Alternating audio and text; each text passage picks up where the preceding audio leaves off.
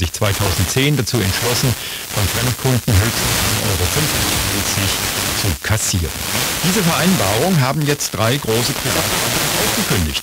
Die Commerzbank, die Postbank und die Deutsche Bank. Lars Hofmann aus der HR1 Wirtschaftsredaktion. Was heißt denn das konkret, wenn man beispielsweise mit einer Sparkassenkarte oder einer Raiffeisenbank bei diesen Banken dann Geld abheben will am Automaten?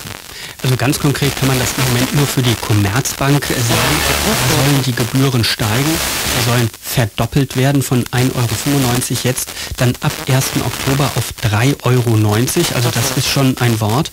Nicht ganz so konkret.